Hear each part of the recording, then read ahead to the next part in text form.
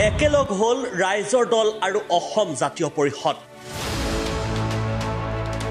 কিন্তু কা আন্দোলনৰ পিছতেই আৰম্ভ হোৱা এই আঞ্চলিক ৰাজনৈতিক দল দুটাৰ মূল ইছ্যু নাগৰিকত্ব সংশোধনী আইন নহয়।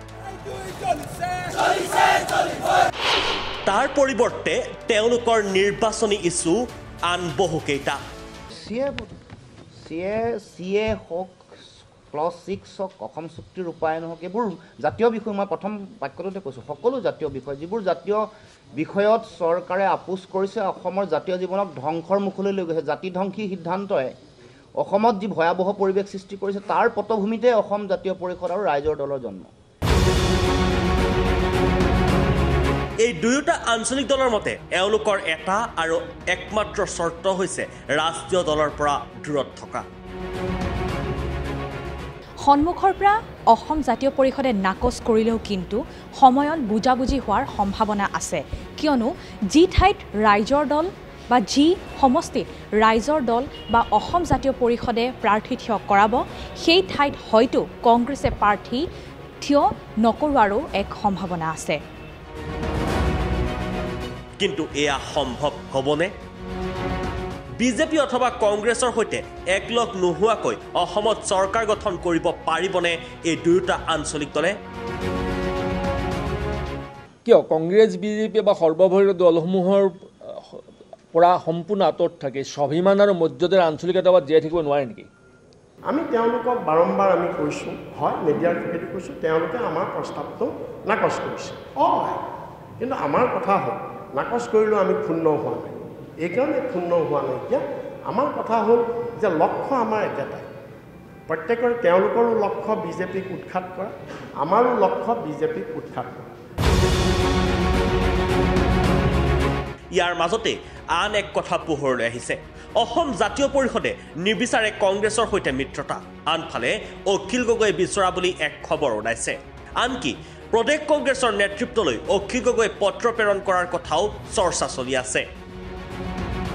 খবৰ অনুসৰি সেই পত্ৰত অখিল গগৈয়ে শিৱসাগৰ অথবা তিয়কৰ পৰা প্ৰতিদ্বন্দ্বিতা কৰিব বিচাৰিছে। কিন্তু এই ক্ষেত্ৰত ৰাইজৰ দলে এই কথা নাকচ কৰিছে যদিও প্ৰদেশ কংগ্ৰেছে এই কথা একেমুখে নাকচ কৰা নাই।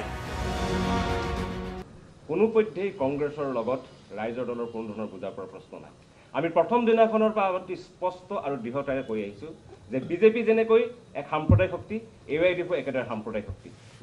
সেইটো সেইবিলাক কথা আজি আমি নকওঁ। কিয়? এতিয়াও বহুত সময় আছে। ৰাইজৰ দলে গোলাঘাট চেঙা থাওৰা আদি সমষ্টিত ৰাইজৰ দলৰ প্ৰাৰ্থী থিয় কৰাব বিচাৰে যদিও বৰ্তমানো ঠিক হোৱা নাই।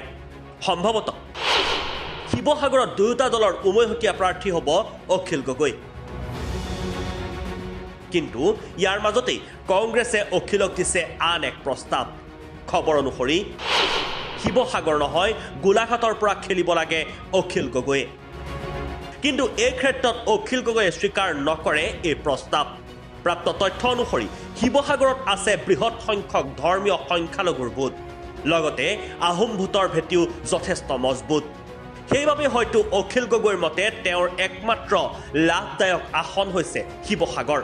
কিন্তু কংগ্ৰেছৰ মন শিৱসাগৰ সমষ্টি নিজৰ অধীনলৈ অনা। হয়তো শেষ মুহূৰ্তত তেওঁলোকৰ মাজত হ'ব পাৰে বুজাবুজি। ইফালে এই দুয়োটা আঞ্চলিক দলে প্ৰাৰ্থী থিয় কৰা সমষ্টিত হয়তো কংগ্ৰেছে থিয় নকৰাৰ সিদ্ধান্ত ল'ব পাৰে। মুঠৰ ওপৰত বিজেপি বিৰোধী ভোট যাতে বিভাজন নহয় তাৰ বাবে চিন্তা চৰ্চা কৰি আছে এই আটাইবোৰ দলে। ভিডিঅ' জাৰ্নেলিষ্ট হেমন্তৰ সহযোগত Juli Bezbaruah report time eight.